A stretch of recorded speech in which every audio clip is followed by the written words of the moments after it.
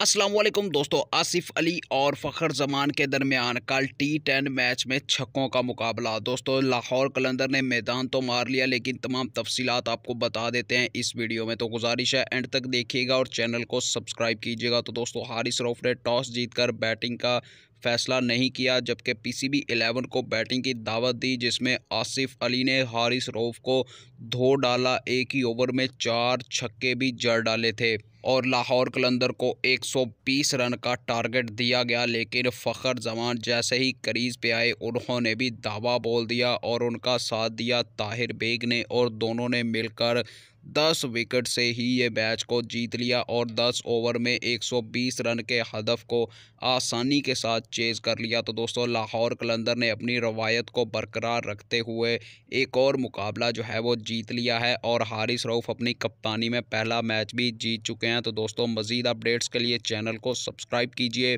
Bell icon को press कीजिए। अल्लाह हाफिज़।